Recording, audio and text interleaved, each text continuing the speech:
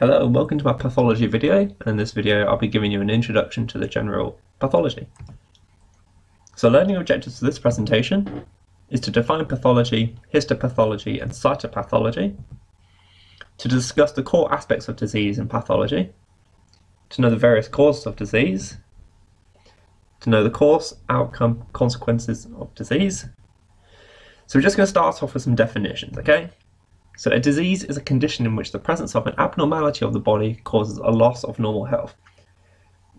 And usually this is standardized within two standard deviations from the norm. So whether or not you are within the norm can tell you whether or not you're in a disease state or not. Then you've got pathology. So pathology is the study of disease. So anything ending in ology, for example, is study, and path meaning disease.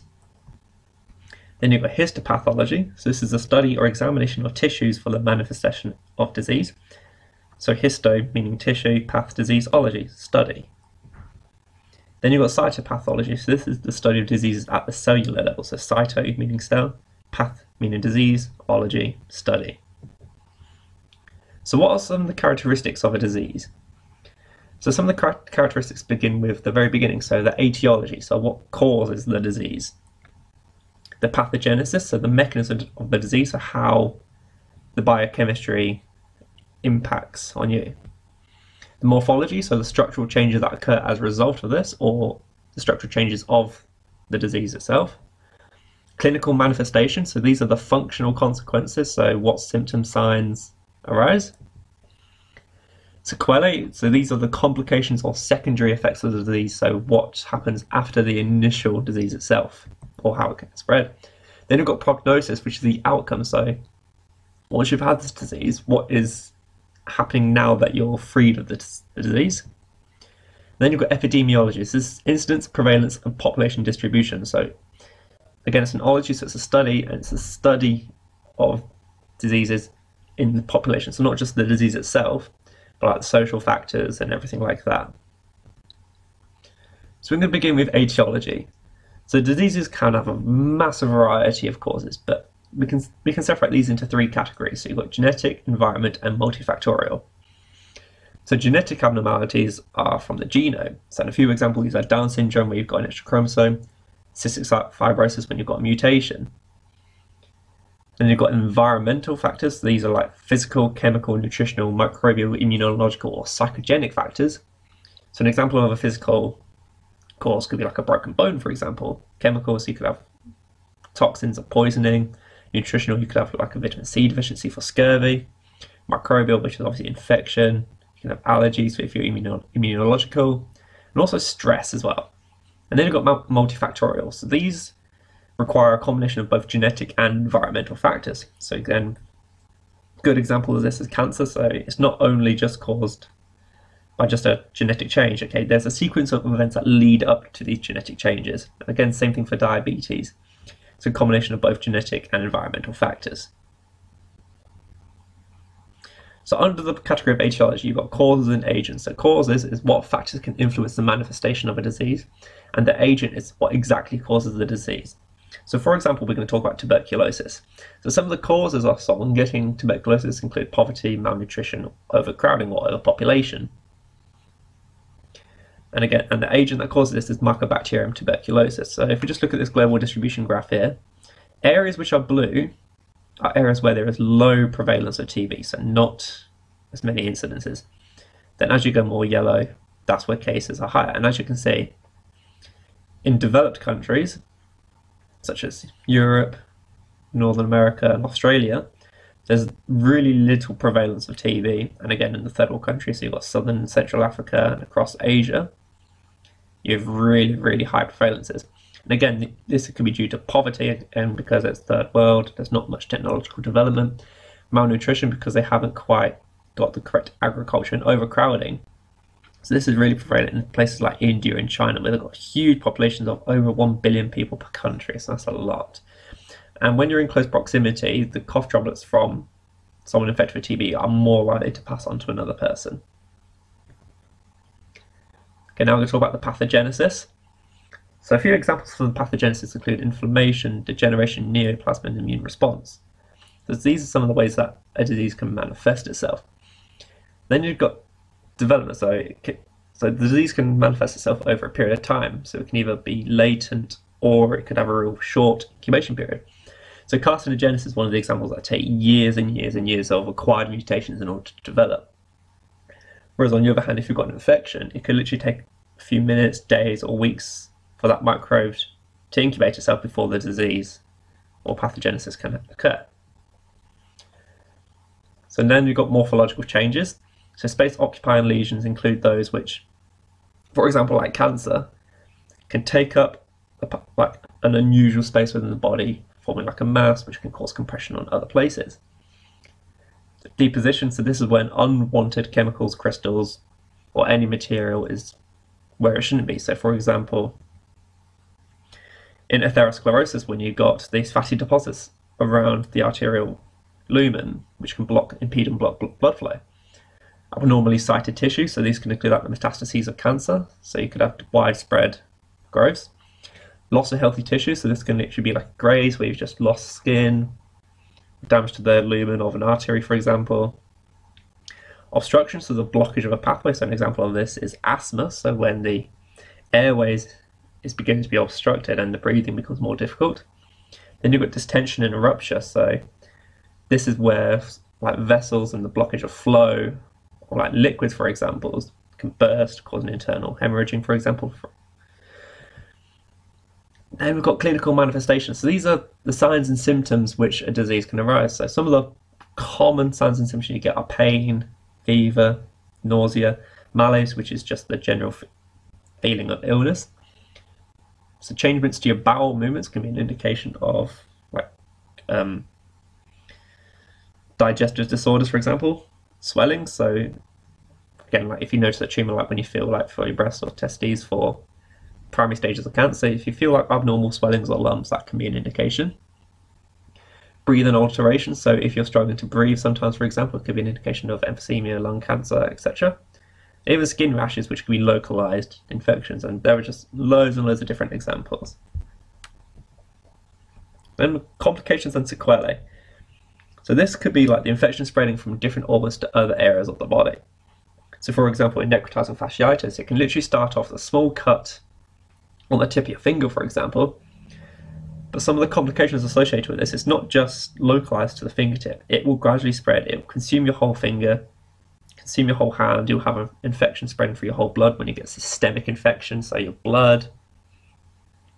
Other examples can include the metastasis of tumors. So for example, the lungs and bones are pro- are really like integral sites for secondary metastases. So these can release growth factors which will allow the chemotaxis of the metastases to localize in those areas, so promoting the spread of cancer. And also whether any long-lasting damage can be as a result. For example, if you've got any nervous damage, this can lead to paralysis or even behavioral changes. So you could start off you know, having a good positive view on life, but all of a sudden, as a result of this, you could become more agitated, angry, depressed, etc. And then prognosis, so the outcome or the fate of the patient. So often you'll hear this in like medical dramas or medical TV shows, right? Oh, the patient's got a good prognosis or a poor prognosis. So good prognosis is when there's little or no lasting effects as a result of the disease. So good. So a good example of this could be, for example, cancer. So usually cancer patients could be severely like worn out to the point where they're having multiple organ failure because of the tumors metastasized. But upon chemotherapy, correct operational procedures, the patient could live a relatively normal life. So they'll have a good prognosis. And a bad prognosis when there's detrimental effects as a consequence. So, for example, people suffering from meningitis could suffer neuronal damage, paralysis, and this is all as an after effect of the disease itself. So, earlier diagnosis can improve patient prognosis. So, you can you hear this in like cancer stories all the time. The earlier you diagnose it, the quicker you can treat it, and the quicker your outcome will be. So fast. So what we need is screening programs, fast diagnosis, and also just being healthier in general can improve your prognosis and epidemiology, so the scope of the disease across a population. So this is like analysing the morbidity and mortality rates. So morbidity is the spread or the rate that the disease is prevalent in a population, and mortality is how fatal the disease is. So how many people are being killed annually, weekly, or whatever by this disease. And epidemiological studies provide the can provide etiological clues. So you'll be analysing right what's happening in this population and this population. Is there a link on what on what is actually causing this disease? Planning on preventative procedures. So this happened with the Ebola outbreak. So once Ebola manifested itself, researchers and the governments work together to try and combat this disease and help prevent it from causing further outbreaks. Again, this can promote funding into certain disease fields, hopefully leading to vaccination programs and so on and so forth. Okay, this here is just an image showing you the flow of disease.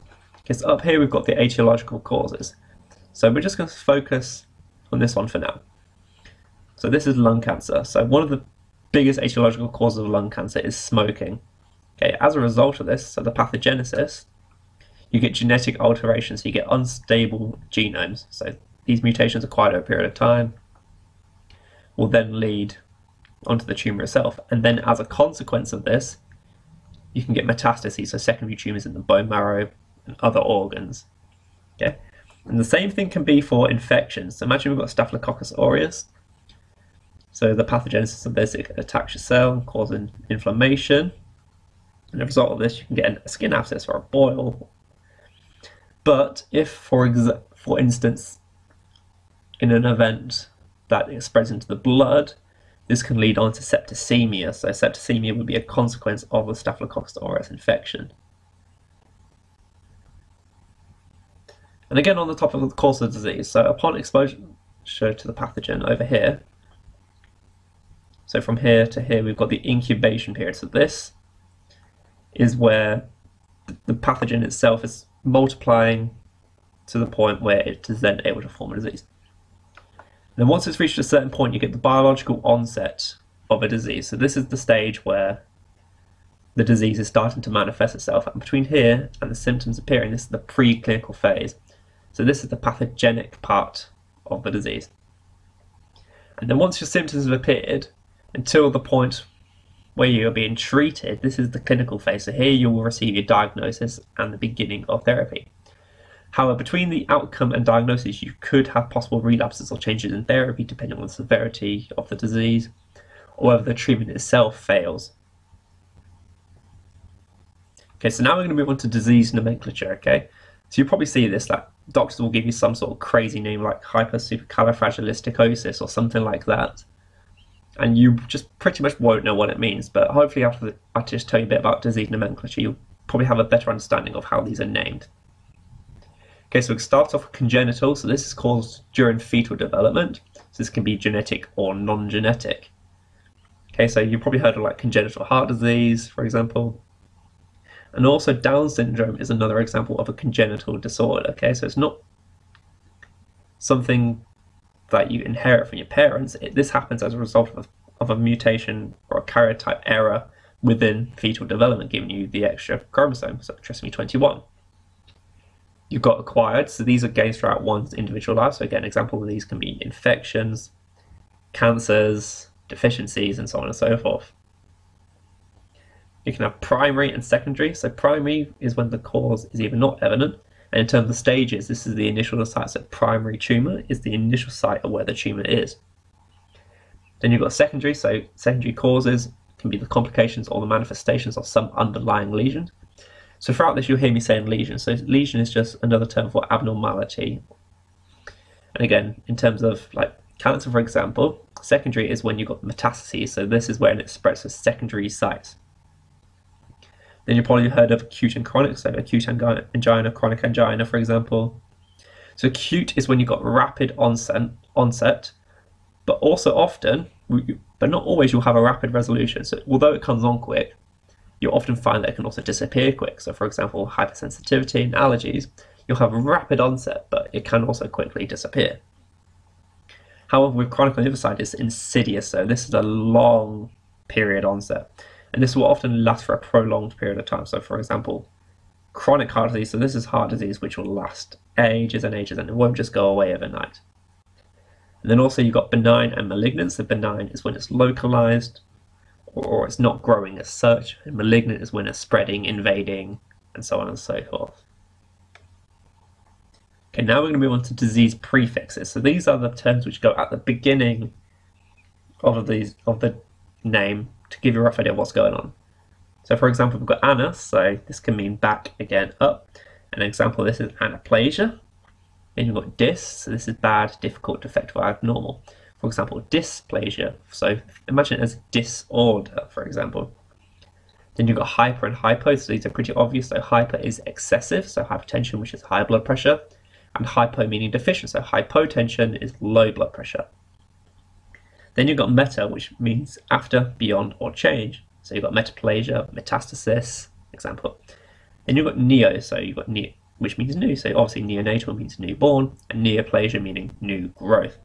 Again, all of these prefixes, suffixes we're trying to going for. I, you can go onto this Wikipedia site and it will literally give you a massive list of suffixes and prefixes. Because oh, obviously, because I can't go through all of them on one video, so you might just want to go onto that link and have a look yourself. So here are the disease suffixes. So anything ending with itis, for example, is a sign of inflammation. So for example, arthritis. Something ending in oma is often an indication of a tumor or mass. So for example, a teratoma, which is a tumor of stem cells, so you get abnormal growth. So you can have teeth growing in your hair, teeth growing in your feet, for example. Anything ending in osis is a condition or abnormal condition. So ketoacidosis is the condition of ketones causing acidic conditions anything ending in oid is a resemblance, so rheumatoid arthritis, so like rheum, rheuma, if that makes sense. Anything ending in penia means a lack of or deficiency, so thrombocytopenia means you've got deficient thrombocytes, so you might have blood clotting issues. Anything ending in cytosis is referring to an increased number of cells, so leukocytosis meaning a, a high white blood cell count, so this could be uh, another word for leukemia, for example. Anything ending in ectasis, so this is usually to do with dilation. So bronchiectasis, you can also have blood vessel dilation problems, for example. Anything in, ending in plasia is a disorder of growth. So hyperplasia means excessive growth. And anything ending in opathy means an abnormal state. So neuropathy means abnormal neurons. And also anything that's got eponymous, eponymous name diseases are named after the founder or someone suffering from the disease. So for example, Alzheimer's disease, Hodgkin's disease, and Down syndrome are all named after the founders, for example. Okay, so now we're going to move on to the test cell section. So here I'm going to ask you a series of questions and you are going to answer it. I'm not going to tell you how many marks each question is worth and I'm not going to give you a marking for it. I'm going to let you decide on your, this yourself. So the first question is define pathology. What could be the etiological causes of liver disease and if someone stated that they are suffering with hyperkalemia, assuming you don't know what this disease is, and based on the nomenclature of diseases, what do you think hyperkalemia is referring to? So again, this is my introductory video to pathology. So I cover the nomenclature, some of the causes of disease, and general pathology. And gradually we'll be moving on to videos about specific diseases, okay? So thank you for watching guys, I hope you benefited from this video. If so, just leave it a like, just tell me that you did enjoy it. If you've got any comments or just questions that, for example, if I wasn't clear on certain aspects, just drop them down in the comment section below and I'll answer them as soon as possible. And also, if you've got any questions that you would like other people to ask, so for example, setting your own case study based questions or your own questions for other people to answer, just post them down in the comment section and have a bit of fun. It will help your revision. So yeah, thanks for watching guys and I'll see you next time. Peace out guys and guys.